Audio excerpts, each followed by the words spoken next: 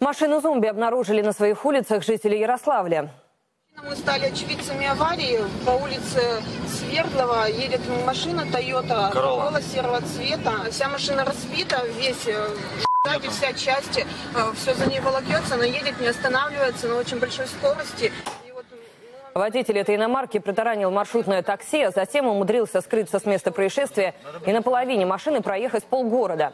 Мужчине, видимо, было нечего терять, поэтому ни на дорожные знаки, ни на светофоры он внимания не обращал. И на очередном перекрестке снова попал в аварию, после чего вылез из машины и шатающейся походкой попытался скрыться с места происшествия. Тут же его и задержали полицейские. Где совершено ДТП было? На Добрынина. А как машина здесь оказалась? Я сюда приехал. На эвакуаторе, да, доставили? Нет, своим ходом.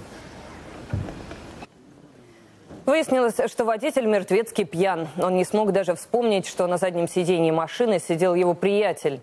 В разбитой автомашине Toyota Corolla сотрудники полиции обнаружили труп пассажира, 33-летнего мужчины, знакомого водителя, который находился на заднем сидении. И, очевидно, погиб от удара при столкновении с маршрутным такси.